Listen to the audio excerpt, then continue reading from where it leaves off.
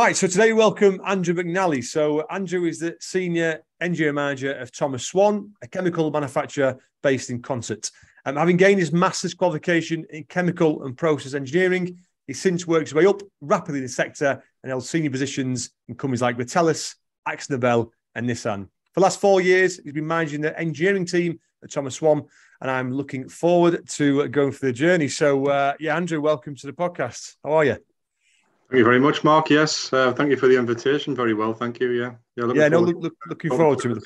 Yeah, good man. So um, I like to start it with the same question every time. Um, so, what does it mean to you? What do you say to uh, to be a leader? Yeah, I think um, I think being a leader is um, obviously it's a role of responsibility, but um, it can have a big impact on on individuals within the team.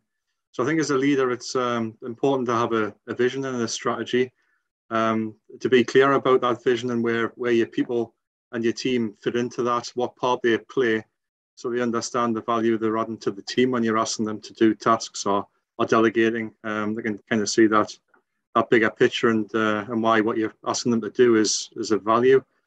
Um, I think as a leader, um, it's it's your opportunity to bring people up. I think that's um, that's the that's the main part. It's um, a good a good leader um, supports supports his people or her people um, and helps them be the best they can be and um, achieve perhaps beyond what the what they realize they're capable of. Um, I think particularly early on in in a, in a career, um, a leader's influence is incredibly important on setting the career path for a, um, a, junior engineer. In my in my case, starting out, I was you're obviously um, you trained to a trained to a level or you've you've you've read and studied at a university, but um, the big old world out there, uh, they don't tell you how to apply it at the university. So it's all about um, it's all about somebody giving you a bit of a leg up, supporting you and helping you um, helping you sort of develop yourself and um, and take that little bit of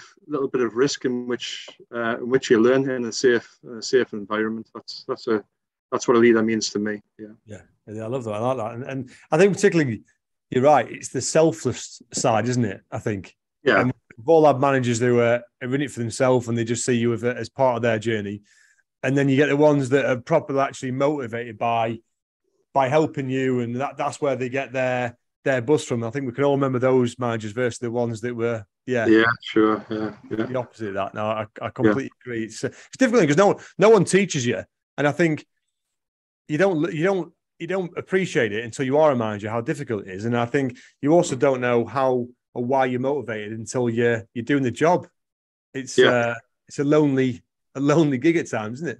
It can. It certainly, yeah, it certainly can be. Yeah, yeah, yeah. Um, so let, us let, take it right back then. I like to um, just literally take it right back to the early days. I'm quite interested in, in talking some point with yourself through your route in terms of the university side and and, and what you did. But actually, yeah taking it right back even before that, you know, going back to whenever it was, 98, 2000, when you were, you know, before university, did you know uh-huh. what you wanted to be?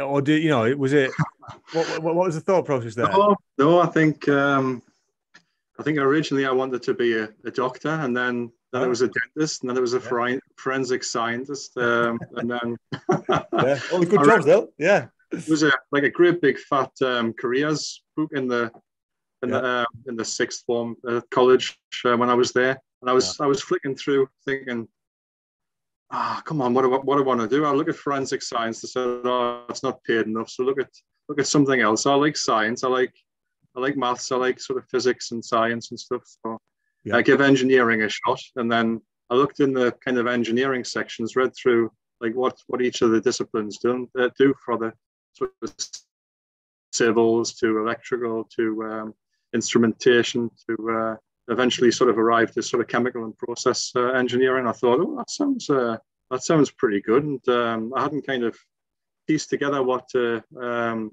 sort of chemical or process engineer did. So um, yeah. I thought, oh, I can, get, I can, get, into that. I like it. I like a bit of science, I like a bit of maths, and um, I like all these sort of example applications. So yeah, yeah. Well, let's let's have a go. Yeah. Where, where, where, where's that come from then? Because I guess I find sort of you know, maths, probably maths and science in particular, you either love it or you hate it, and I think it. Yeah, you know, people either either way at school. And yeah, was that something which was just an inbuilt passion, or do you see that from your family and stuff, or? Uh, I, I, guess so. I think, um, well, for me, you're either you're either kind of a numbers person or you're um, you're a sort of a words person, and uh, I can sort of get by with uh, with English as most of us can, but I kind of excelled in sort of maths and um, science and the kind of application, and um, and then I'm fairly sort of practical and uh, sort of logically minded, so it um, kind of have a kind of engineer's engineer's head, if you like. Uh, yeah. I've got a sort of practical solution for most most problems. So I, I guess that's where it came from.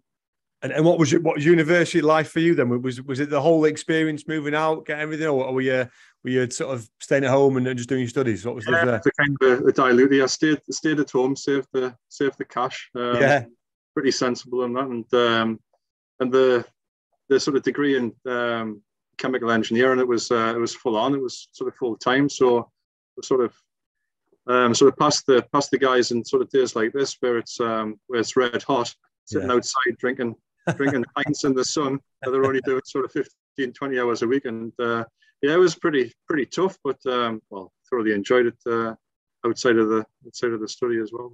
Yeah, I mean that must be you know you don't you still don't find many people with masters. You know that's still yeah, a rarity. Was was the plan? I mean, you I imagine you could have left after three years and gone done what you did, or did was you always was your plan always to do the four years and, and get be as qualified as you possibly could be? Um, yeah, I set out. I set out to do that. Um, I, I, opted for a year in industry as well. So nice. um, my third year, uh, third or fourth year, was um, was done in industry, um, in the oil and gas industry as well. So that was uh, right. So yeah, that was a bit of um, a bit of a lesson. Uh, sort of applying the the first first couple of years of um, of theory in a in a practical situation and the real engineering role as well. Obviously, with um, yeah. sort of support from from the engineers and, and the staff at the staff at there. But it was it was I was doing sort of real value added uh, activities as well and, and learning at, at much a fast a much faster rate than I was I felt I, I was at university to the point where I was sort of questioning do, do I really want to go back? Do I want to come yeah my fourth year? But um, it was I mean for me I, I kind of set out and said I wanted to be a I wanted to be a professional engineer, and to, to do that, I felt like I needed the, the masters and the route to um, sort of chartered engineer status. Um, yeah. So that's that's why I, that's why I went down the masters route, just a, an easier route.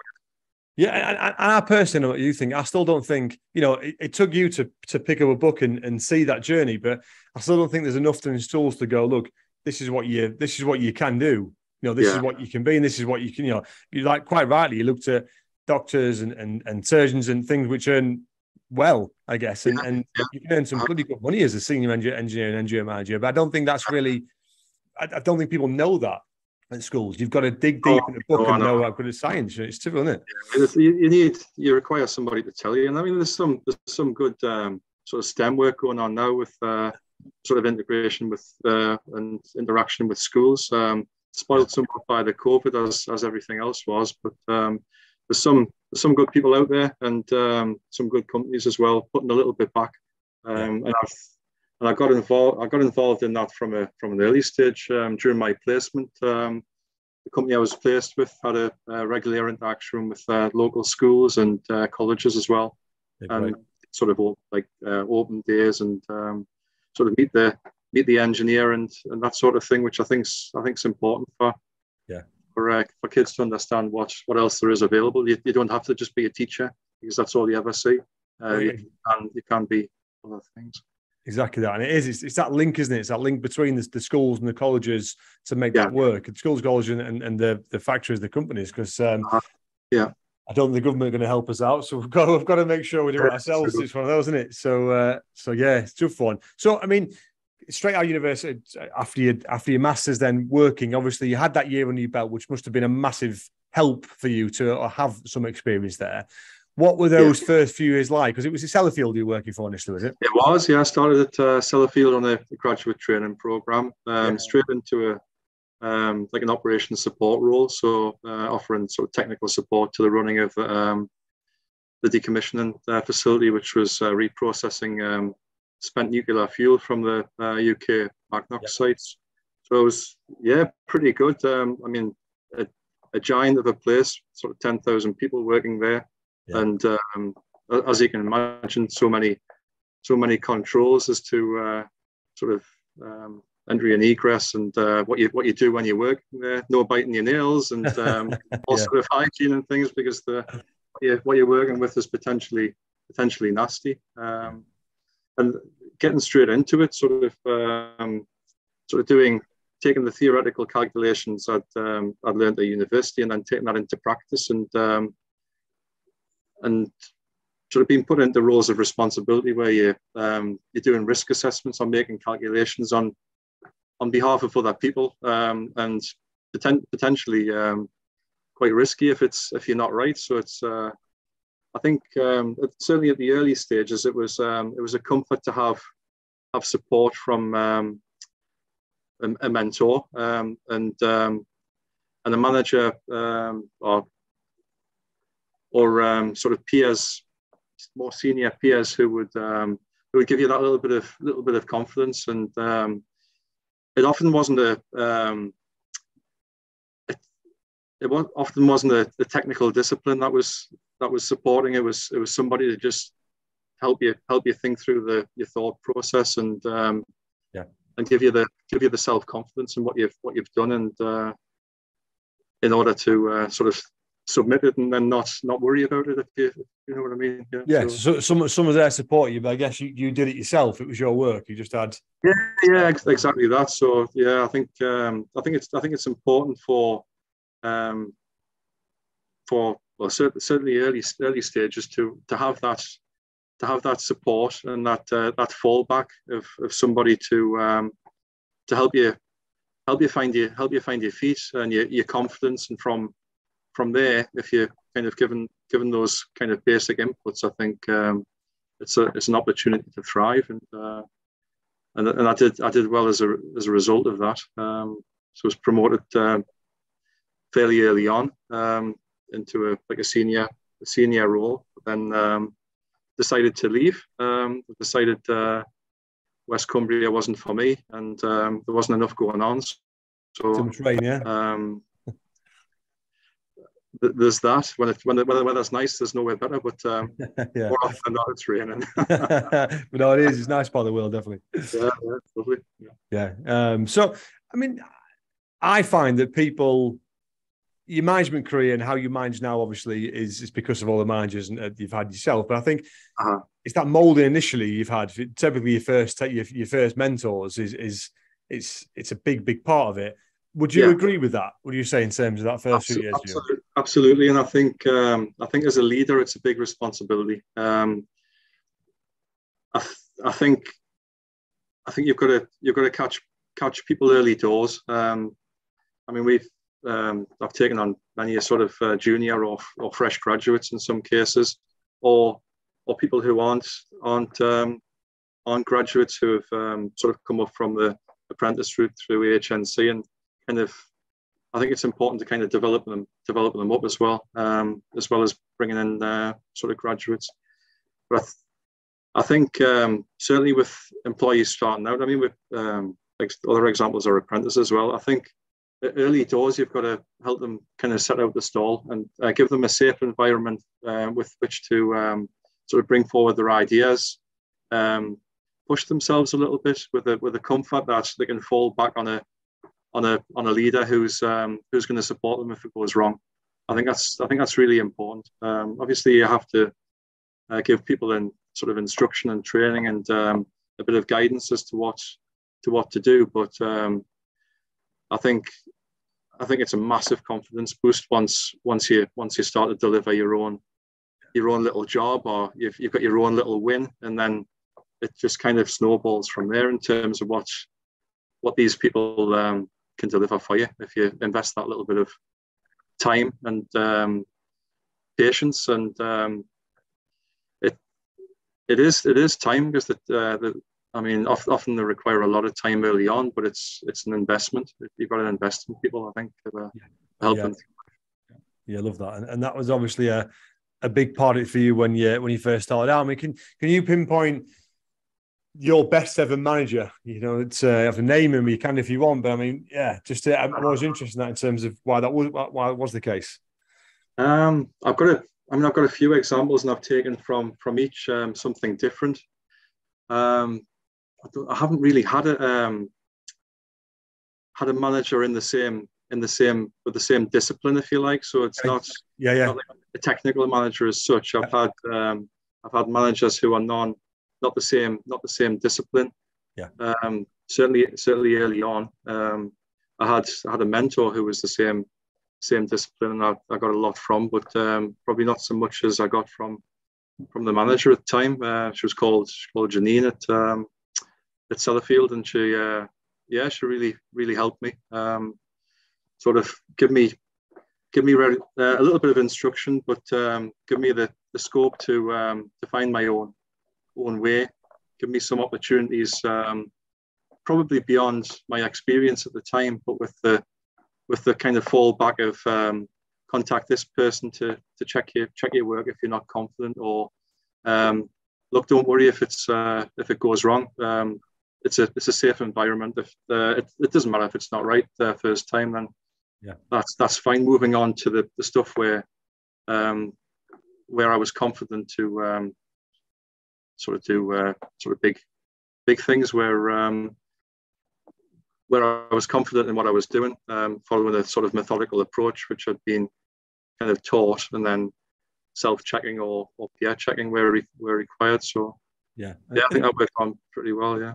And it, it seems to me, what I can hear as well, which you've obviously carried through to your own management, is that the big one is is giving people the support, but also trusting them to have a go by saying, you know, at, at, at Sellafield, the the amount of responsibility yeah. you'd have had as a as a young lad, I guess, was was probably a, uh-huh. a, initially quite daunting, I guess. But having gone yeah. through that and been successful, obviously, it's it made you who you are.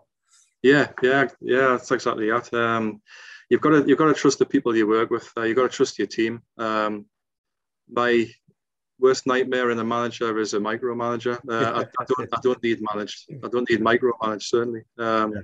So that's that's a nightmare. I have I have worked for, for those who want to know uh, sort of the the ins and outs, and it um, it, it, dra- it drags you down, it gets gets you down, and uh, the, the last thing you the last thing you want is to when you when you're putting a lot of lot of time or a lot of hours in is to um, is to kind of go go over your over your quota, just just reporting and uh, communicating to to somebody who doesn't doesn't trust you.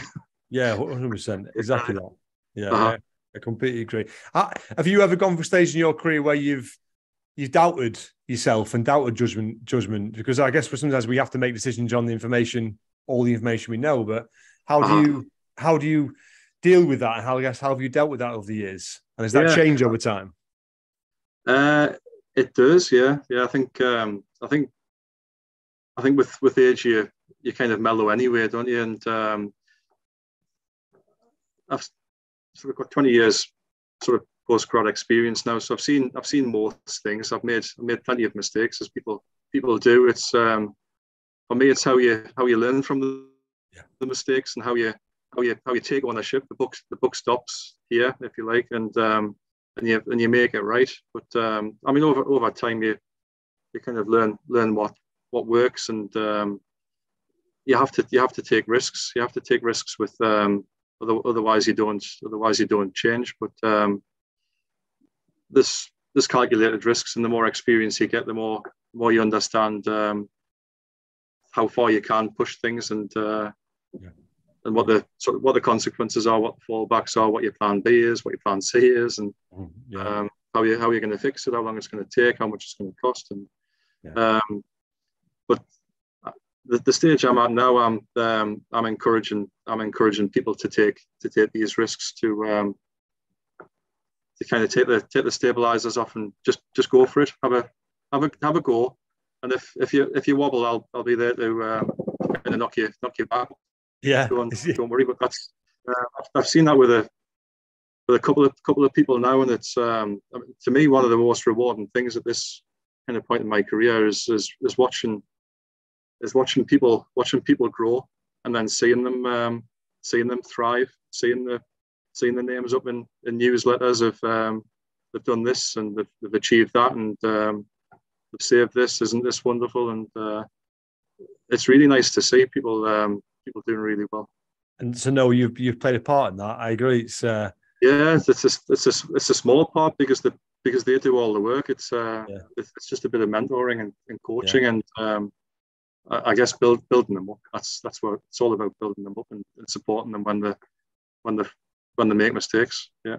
I, I always think when, when I ask the people the question of who you who your favorite manager was, I always think it would be really nice one day. Do you know what I mean? For ten years, for someone to go, oh, to, to say to say your name, not not as an ego boost, but just because it's hard work and it's it's scary yeah. sometimes, and and, and we we make mistakes, but to know you've you've made a difference in someone's career. I mean, I personally, that's that's something that I don't think you can ever beat. Uh huh.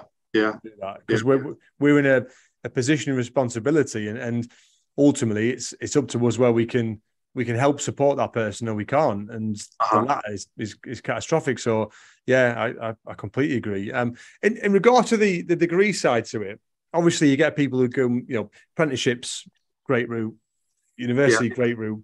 So both there's two ways it's going to cut, but you're going to be biased because obviously that's the route you came through. But what do you think is the the most, you know, if you if if you sit your your, your son or daughter down now and they say, look, what what what, what am I doing, Dad? Am I doing degree so and so? Which way yeah. would you say? Um, I think it's a, I think it's a difficult one. I think um, I think degrees have been oversubscribed um, in recent in recent years. I think the I think the costs incredible compared to what uh, what it costs when I when I went. And I think um, my recommendation to to um, to people at uh, sort of school and college now is to consider carefully um, what what it is you want to do, um, because there's a, there are other routes. Uh, the other issue we have um, in the business now is the is the lack of subscription to um, apprenticeships over over, the, over that same period. Yeah. Um, we've seen a we've seen a um, like a, a, real drop off in, in terms of what we have in terms of um, an age profile of the of our um, more senior more senior guys who are due to retirement through to a, a big gap to a um, to a couple in their um, sort of 30s um, to to a, to a couple of younger ones which which we've been we've been taking on over the over the past few years. But um, yeah it's an incredible gap. It's uh, I think um, I think a degree has been a rite of passage um, and it's it's not the only it's not the only route. Um, I mean we've got a I've got an excellent guy in my team now who's um, who's come up the apprentice route, um, HNC. We're putting them through an HND now, and he's going to do his degree. And he, he wants, and he's he's fantastic at what he does. He wants to be a he wants to be an engineer, and um, and I certainly wouldn't um, swap him for a, for a graduate in a million years. Yeah, yeah, absolutely. It's uh, what are your thoughts on this? I mean, if you look at you know, I've, I've done some work this last few weeks on um, you know the the the robotic side automation and all the new technology and how you know, manufacturing is going to change and it's going to be a whole new, it's a whole new set of skills, I guess. Because on one hand, people are saying it's going to replace people, but I'd argue against that. I'd say, yes, there'll be certain jobs that it's going to replace, but it's going to create other opportunities with the manufacturing engineering. It's just, it's a, yeah. it's a reframing it and and how we're going to, but how are we going to, to skill up people who are working for us now, or how we're going to create routes so people get into manufacturing. So they aren't just the old traditional routes, you know, uh, because yeah. it's a, it's a whole different skill. Robotics, you know. Do you think? Do you think that it's a way we can look at degrees and, and look at specific degrees? Obviously, yours is very niche to what you do now, or is it something we can look at the curriculum and the, and the apprenticeships and, and, and have routes for people to be robotics engineers and, and so on and so forth? What, what, what, are your thoughts on that? Yeah, I think we need. To, I think we certainly need to adapt. Um, uh, I'm not sure I'm seeing that through through the curriculum uh, currently. We do we do see um, sort of IT and um, sort of bringing in coding and stuff like that, but it, um, I think that the schools seem um, sort of way way behind the way behind the times. They're just sort of like starting to really push it now as part of the curriculum, whereas um, I mean it's computers are kind of old news now. It's, uh, it's too things, late. Things are, yeah, yeah. I think it, I think it is. I mean, it's good for the current generation, but then no doubt they'll be a, a decade behind um, behind industry once the once they graduate. So yeah, um, I think in terms of uh, examples of, of automation, that's what we've that's what I've pushed in the past um, sort of I'm trying to think sort of eight, eight, ten years now. Um, so taking um, taking processes and adding, adding as much automation as possible in order to improve um, like manufacturing efficiencies, uh, reduce costs, improve throughputs, um, uh, reduce energy efficiency, particularly uh, latterly with, with the cost of utilities. It's um, it's a big push. Yeah. Um, but most often there's the case that um, the numbers employed don't don't go down. Um, your your throughput your, your capabilities go up, and your uh, your unit cost is shared over over um, over a smaller smaller labour base instead. So I mean examples including um, sort of a couple of places, Vertellus, um, uh, Thomas Thomas Swan, um, in, a, in a couple of different plants now. Um, sort of doubling our, our more more sort of throughput with the with the same with the same labour, which which couldn't have operated the um, the plant. I mean, the the old the old sort of uh, lazy lazy engineering route was um, expansion. So you would you would double up on double up on everything, double up on footprint, double up on on labour, and there you go. There's your there's your throughput.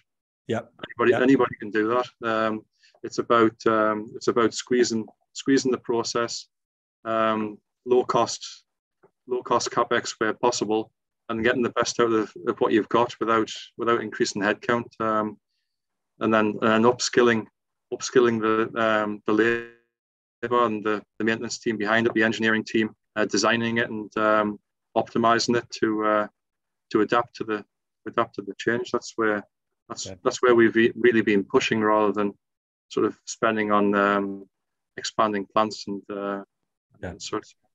It's, it's, it's really good advice because unfortunately now, like you say, gone a day where where they can really plan with mass growth numbers because it's only going to get hard, particularly for the next five, 10 years. It's, it's, it's only going to get harder. Like you say, the amount of people who are going to be retiring without any real succession planning, it's um, it's tricky. So exactly that, get get the best out of what, what you can do. And and this and it isn't all about the numbers. And that's the same for, for a lot of industries, I think. And actually, I think since COVID, I think companies have probably realized that they can actually do to some extent more with less and look after staff more. It's not, not all about all about the numbers. So I think uh-huh. that has has changed things. Um, so no, I, I, I completely agree. Um, I mean, out of interest, you, make, you mentioned Vertellus there, obviously, you know, Sellafield, Vertellus, Thomas Swan, you know, it's, it's, um, that's obviously your, you know, what you've done throughout your, the bulk of your career. How was it, you know, when, when you're working for Nissan, for example, you know, massive, massive name, obviously, you know, everyone knows yeah. the Northeast. Yeah. How was that working that, I guess, quite different environment for a period of time for you? Um, yeah, very, very different culturally. Um, very large organization. Um, had a very sort of definite way of doing things, but um, the the application of the the application of management um, skills is the is the same. Um, supporting supporting a team. Um, in in Nissan, I wasn't the I wasn't the discipline expert, which is um, which is a bit a bit unusual from um, from my current experience and where I've been previous. Um, yeah.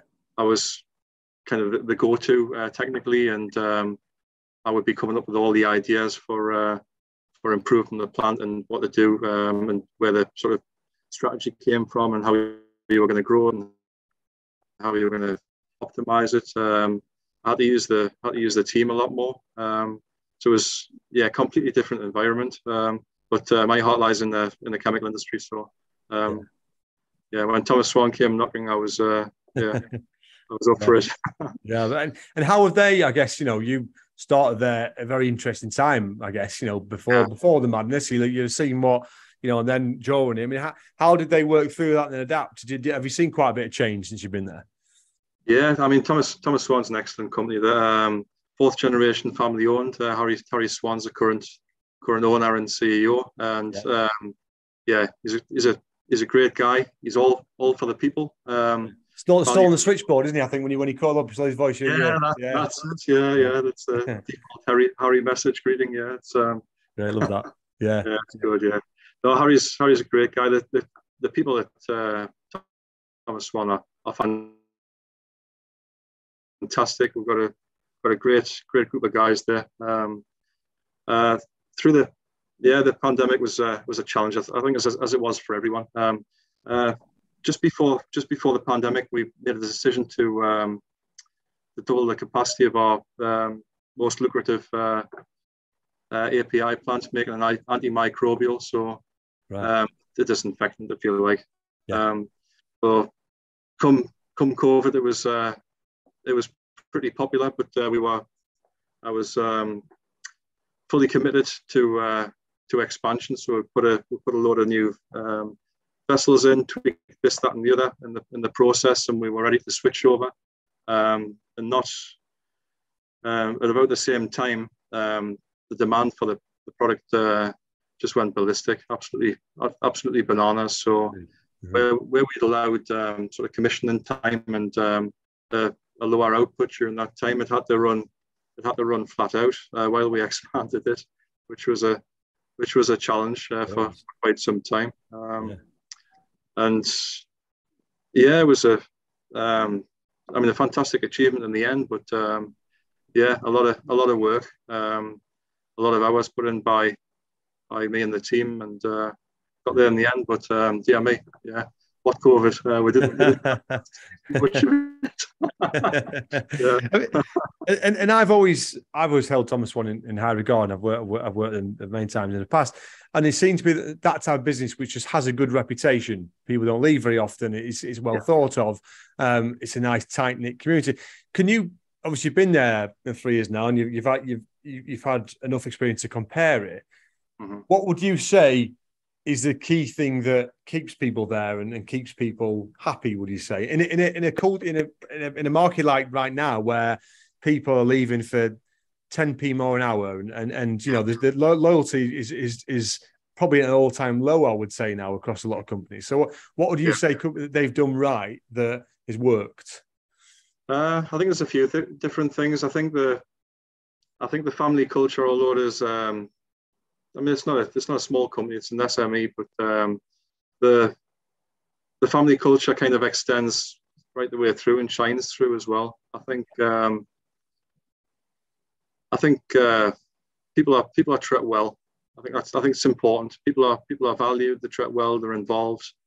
Um, there's a lot of diversity in what uh, Thomas Swan do as well. So it um, kind of it uh, we managed to ride the the COVID um, pandemic pretty pretty well. Proof, so, yeah, yeah.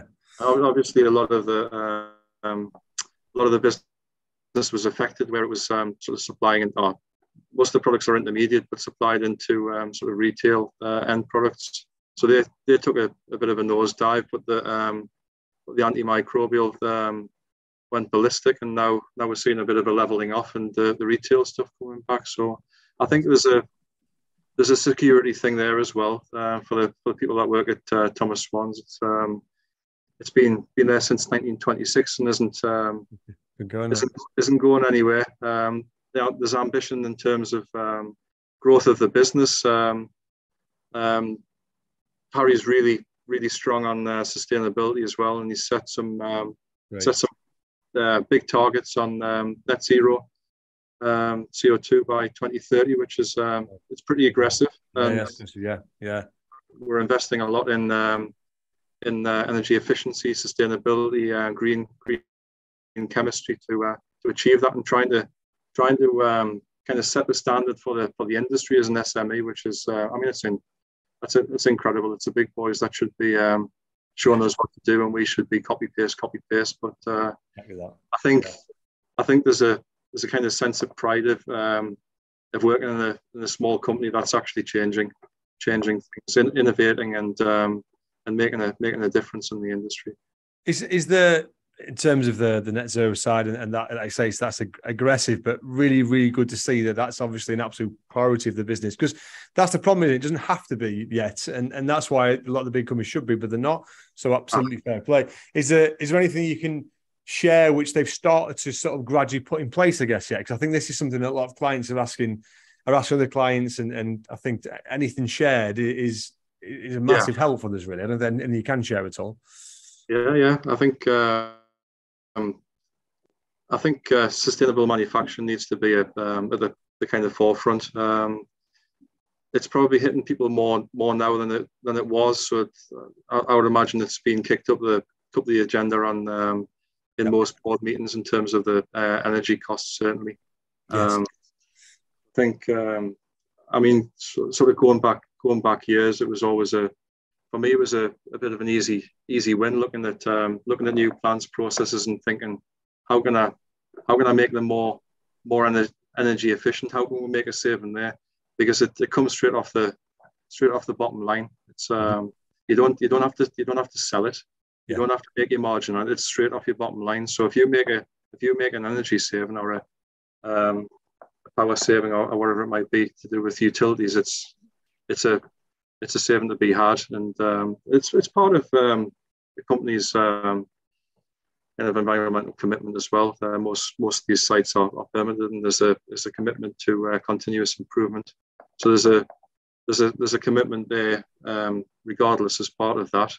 Um, but I think I think those those companies that not aren't seriously looking at that now um, will be bitten will be bitten um, quite yeah. soon. Um, sight, isn't it? Yeah. yeah. yeah, I think I think so. I think um, I think 2030 is aggressive, but um, the cost of the cost of carbon carbon is gonna, is just going to go crazy. I think. Um, yeah. So you best you best be in there now. Invest invest now, and um, and and do, do what you can to, to do well. Do your part to um, sort of help the environment, but help yourselves um, in terms of sustainable manufacturing as well. Yeah, and you're you're right with energy cost soaring. I think it is. You know, now people will be will be forced to look at it. So uh, yeah. no, that, that's that's really good advice. Um, so some um, some sort of I would say quick fire questions in terms of um, go ahead. Yeah, yeah. No, as you were, sorry, mate.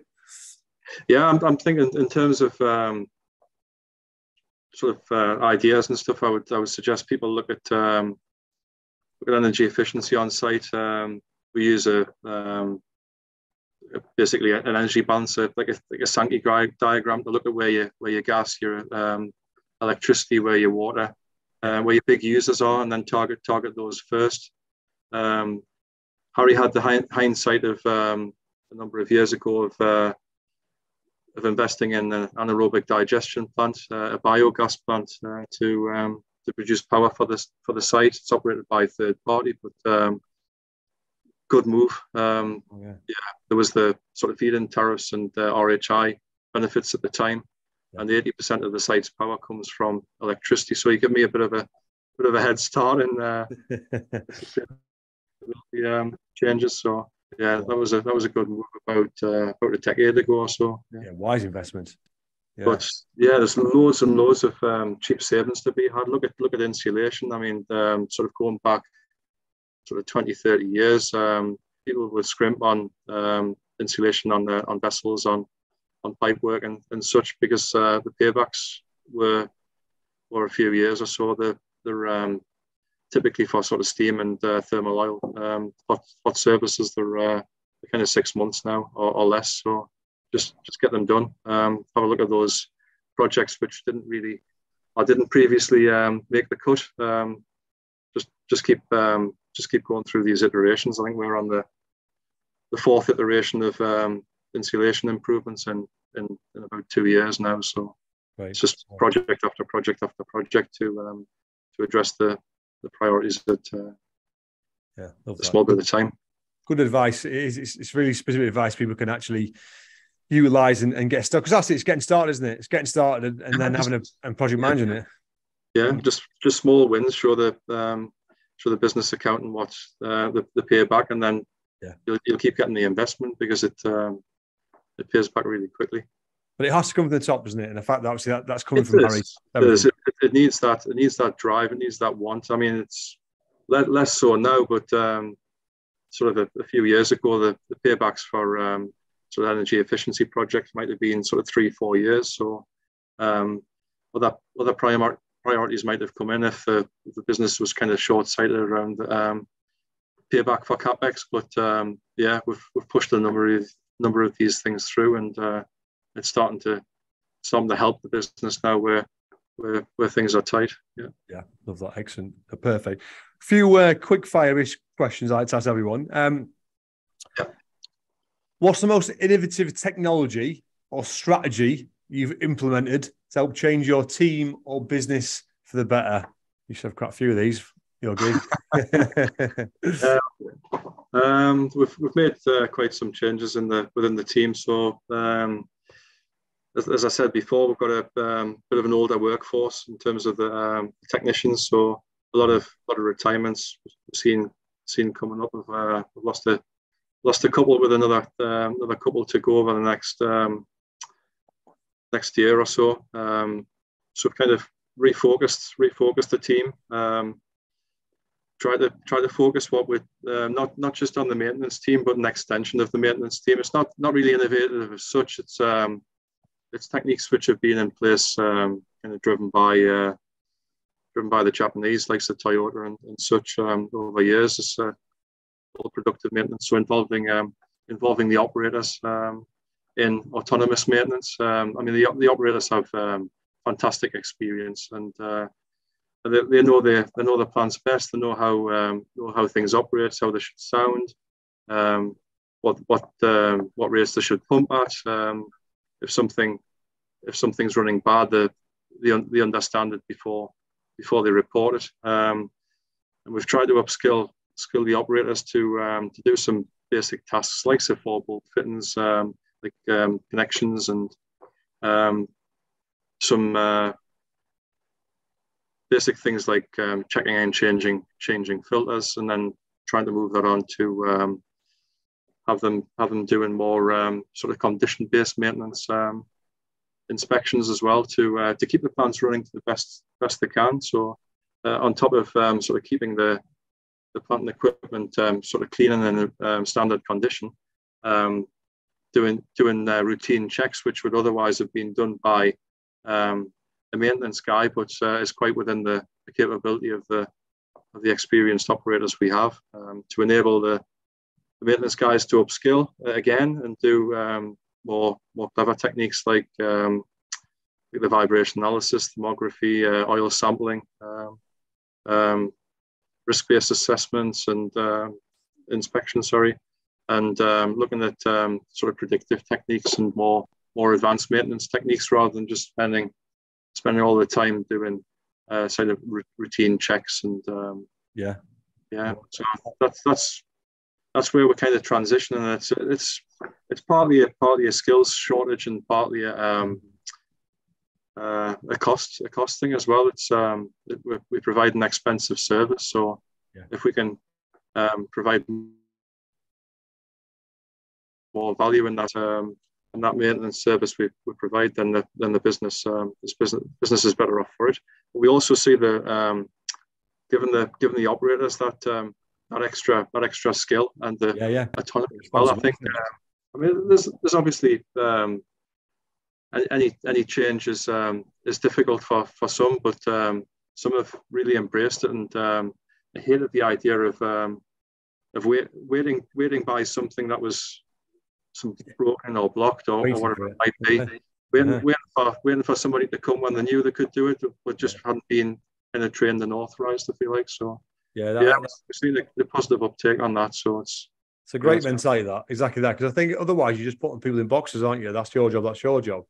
Yeah, and I can't, I can't, I can't stand that. As a, as a small, as a small company, um, I've got, I've got to wear a lot of hats, and um, yeah, and, and in, in, most in most cases, people people want that little bit more responsibility or autonomy. So um, yeah, yeah I, think, I, think, we need to push it. Too. And I think if anything, that that helps your retention too, because you know you, have only got a, an operator as an example for them to move on somewhere else.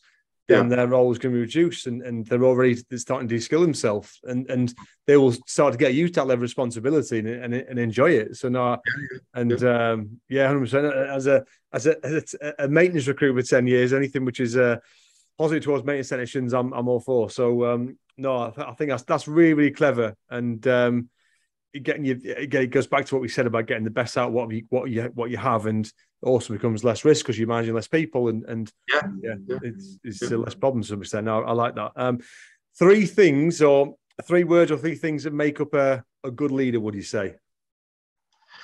Um, few things, right? I think um, I think it, I think it's important to be um, to, to, show an interest, to have to have an, a genuine interest in the in the in the person, in the individual, yeah, um, in their in how they do, in how their career progresses, in their um, and whether they're happy. Um, I think that's I think that's really important to to show to show an interest in treating treating individuals as as they are. Um, it's wonderful that people are individuals. Yeah. Um, I think it's I think it's important to um, to support, to coach and and mentor as well, and to invest your time. I, I think I think it's incredibly incredibly important to um, to give that little bit of time, whether it's a whether it's an open door or it's a um, it's a it's a regular one to one. Just giving that that individual a bit of a bit of time. Um, I'm probably going to go on four or five things. I think. You know, yeah, no. Yeah, I think um, I think trust's important as well. Yeah. You've got to you've got you've got to trust you've got to trust your people. Um, I think you've got to you need you need to trust that people want to do want to do the right thing, um, and they, they want to do they want to do well. Mm-hmm. Um, it might it might just be that you haven't uh, if they, if they don't do well or or they or they're disappointed, it's because you haven't you haven't set them up well. I think that's that's more often the more often the case than not. Um, I think that's I think it's important trust. Um, I think um, you've got to give people opportunities. You've got to you have to delegate without delegating for the sake of delegating to make it your life your life easier. I think you've got to you've got to be thoughtful about um, delegation and um, and give give people opportunities um, and either either put them in the right the right job or give them give them opportunities to excel, to to grow themselves and to uh, to gain confidence, where, whereby they'll they'll start to um, to start to exceed. Yeah, that's yeah. I think that's that's, that's. Love that. Yeah, and uh, look, thank you so much for for this. I think it's, it's been great. It's had loads of value, and I always like to think what I've learned from it because I think others might have learned the same. And for me, I think you you, you nailed it there about trust and not only the support you need to give your staff and how important that is, but actually to to trust them essentially. Because I think there's there's there's some fear sometimes there that you know you give someone too much trust or, or, too much rope, then you know it's it's not always the best way to go. Or actually, you much rather see people have a go, make mistakes, and then you are there to when they do fall to pick them back up. And I like your analogy you made by that because I think it's perfect. And also, you know, on the on the core the manufacturing side, the renewables, the the you know the the all the the tips there, I think you know massively will help companies as they start to go on that journey. So um, look, really appreciate it. Thank you very much, Andrew Mr. Excellent. No, thank you, thank you very much for the invitation. I've, I've enjoyed speaking to you. Yeah. Thanks, Cheers.